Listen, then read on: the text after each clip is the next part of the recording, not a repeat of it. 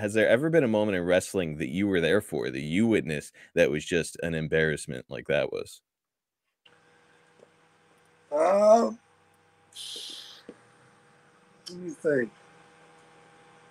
Yes. All yes. right. Uh, this was going way back. Okay. 1976. Um, the guy would later come to the WWF as uh, Prince uh, Prince Afi or Afi something or another. Okay.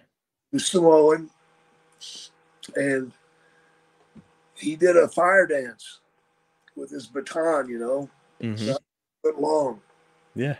He could spin it, you know, with either hand. He could lay on his back and do it with his feet. And both ends are on fire, right?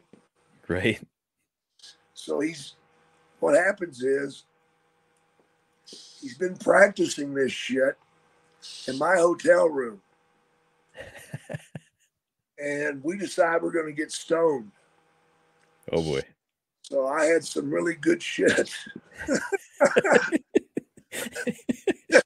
I got so fucked up he could barely stand up.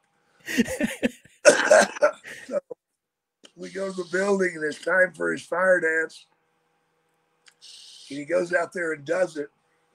And as he's spinning it, a piece of the burlap falls off and falls on top of his head. Oh no. And you see the flame start to grow. And now he's he's flipping it with one hand and he's hitting his head.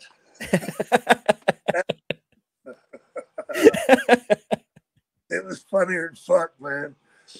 Oh yeah, he burned a big cone in his head, man.